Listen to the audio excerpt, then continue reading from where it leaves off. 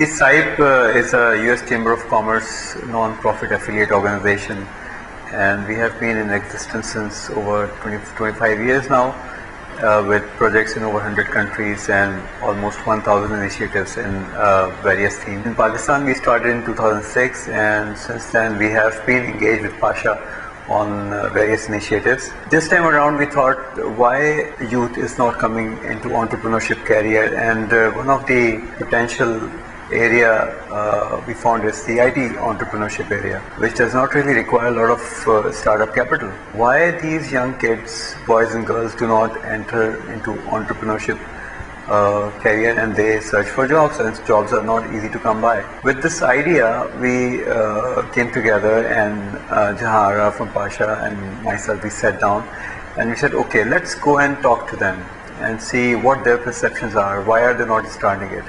So the way we developed this whole initiative is that we would hold discussion sessions in three cities, Karachi, Lahore and Islamabad and we would engage a group of uh, young entrepreneurs, uh, freelance uh, young lads as well as the students, final year students and bring them together and see what their different perceptions are about entrepreneurship career.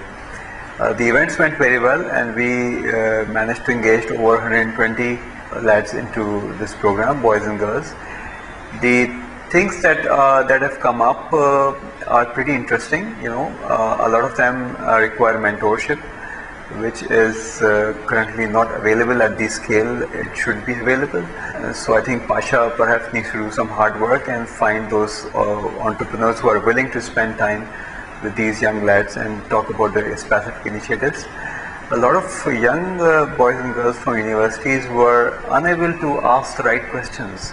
So what I was uh, a little bit surprised is that you know they were coming to these events, they had few ideas, but they were not absolutely sure what they should be asking. So I think these mentors should be able to help them ask the right questions, uh, develop their concepts properly. Um, so in, in these three events, uh, very interesting things that we, uh, we, we learned and one of the things was the payment gateway issue. You know, a lot of uh, the matured entrepreneurs talked about it.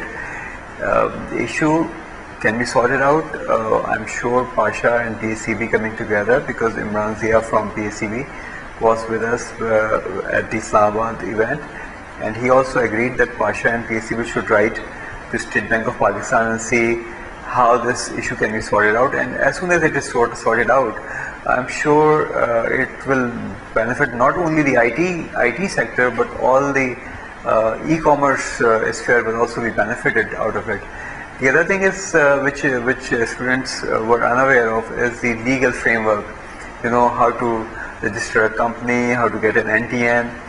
So one of the things that uh, was discussed is that could Pasha, if if could perhaps develop some kind of an information portal or a knowledge knowledge management portal with uh, uh, giving details of all these link links you know registration forms and basic uh, basic information about it.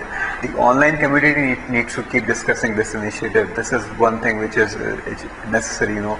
We have come in and we have has come in and has helped Pasha to speak to a larger group of people. Pasha would do the, the advocacy bit, but the discussion should continue. You know, this entrepreneurship arena should really uh, be, you know, extremely uh, vibrant and, and that's what I personally feel because these techies, these online people, instead of discussing that my cat is sick, they should be discussing, you know, something much more productive on their Facebook and on their Twitters.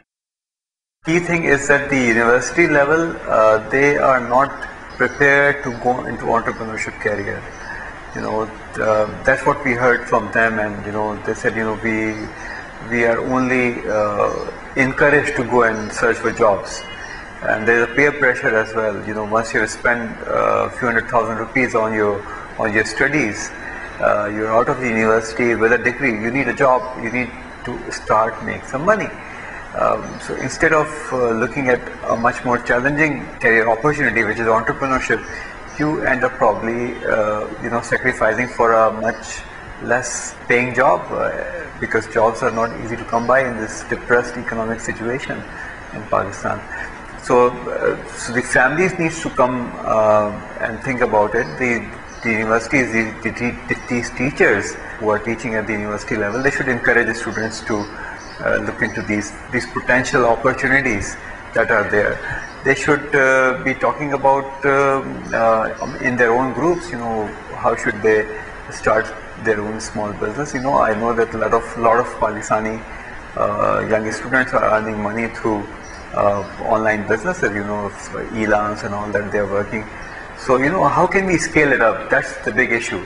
How can we reach out to a larger group of people? How can we go beyond Karachi, Lahore, and Islamabad? Uh, Pasha being uh, an active organization, but it has got its own capacity issue. It's a, it's, a, it's a small organization after all. Pakistan Software Export Board, uh, you, but again PSEB has offices or stingers in larger cities. So uh, I think some kind of an online forum is needed to me uh, that could bring in the community from across Pakistan and you know so that they could discuss, they could share these ideas.